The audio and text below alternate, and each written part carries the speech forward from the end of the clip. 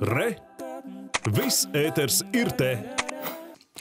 Valdība šodien atbalstīja ģenerāļu pakāpes piešķiršanu valsts policijas galvenās administratīvās pārvaldes priekšniekam Normundam Grūbim. Līdz ar to iekšlietu nozarē aktīvajā dienestā esošo ģenerāļu skaits pieaudzis līdz deviņiem. Grūbim ir, Grūbis ir atbildīgs par struktūrālo reformu ieviešanu valsts policijā. Uzrunājot ministrus pirms lēmumu pieņemšanas par ģenerāļu pakāpes piešķiršanu, viņš pateicās kolēģiem par atbalstu. Svarīgākais ir tas, ka mēs visi strādājam, lai dzīvo drošākā Latvijā, Mums misija ir kalpot sabiedrībai, valstī.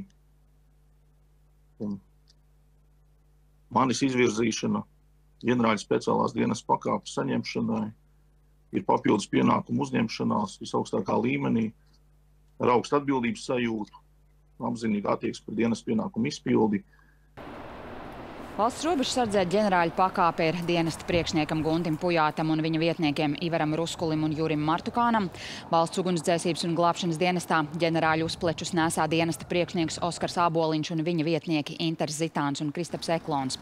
Savukārt valsts policijā ģenerāļi ir valsts policijas priekšnieku vietnieki Andrejs Grišins un Juris Šulte.